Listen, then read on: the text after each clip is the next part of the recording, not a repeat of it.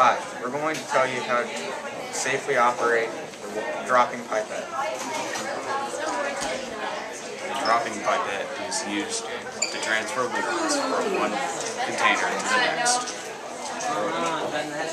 Uh, to operate the dropping pipette, you squeeze the bulb end of, of the pipette and uh, put the other end into the What happened in no strings attached? Uh, to pull in the liquid, you slowly release the bulb. I don't. I go home next. See how it obtained the liquid?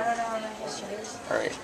And Uh, now, next year I'll wait. to release the liquid, slowly squeeze the bulb to release one drop.